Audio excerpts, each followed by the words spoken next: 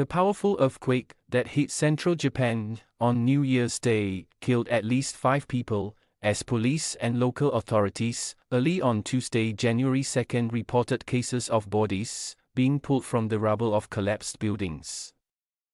The quake with a preliminary magnitude of 7.6 struck in the middle of the afternoon on Monday, destroying buildings, knocking out power to tens of thousands of homes and prompting residents in some coastal areas to flee to higher ground. It also triggered waves about 1 m high along Japan's long western seaboard, as well as in neighboring South Korea. Army personnel were dispatched to help with rescue operations. While one local airport was shut down after the quake tore open cracks in the runway. The extent of the damage as well as the toll remain unclear a day after the disaster, with major roads to the worst affected areas badly damaged, hindering rescue efforts. Public broadcaster NHK reported doctors were unable to reach the hospital in the hard-hit town of Suzu. It said the hospital was relying on a backup generator because of a power outage. A man in his 90s was pronounced dead after a building collapse in Shika town in Ishikawa prefecture, broadcaster NTV reported citing local police. Kyodo News reported four deaths in Ishikawa.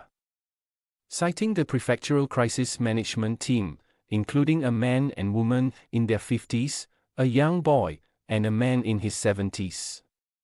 Japanese Prime Minister Fumio Kishida told reporters late on Monday that it was proving difficult for search and rescue teams to reach the worst affected areas due to blocked roads. President Joe Biden said in a statement that the United States was ready to provide any necessary help to Japan after the earthquake. As close allies, the United States and Japan share a deep bond of friendship that unites our people.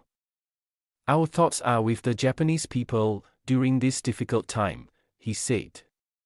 The Japanese government said that as of Monday night it had ordered more than 97,000 people in nine prefectures on the western coast of main island Honshu to evacuate. They were spending the night in sports halls and school gymnasiums, commonly used as evacuation centers in emergencies.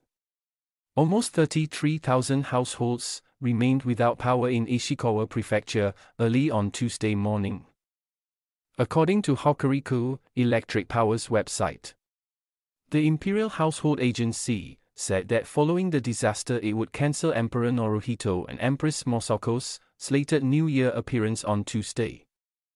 The quake comes at a sensitive time for Japan's nuclear industry, which has faced fierce opposition from some locals since the 2011 earthquake and tsunami that triggered nuclear meltdowns in Fukushima.